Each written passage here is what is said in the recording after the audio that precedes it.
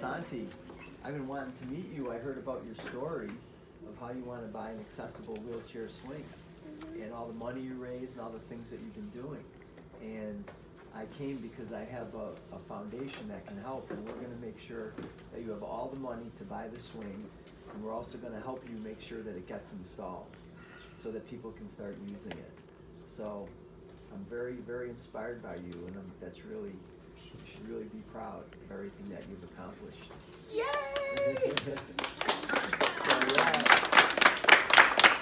Sorry, sorry to interrupt the class.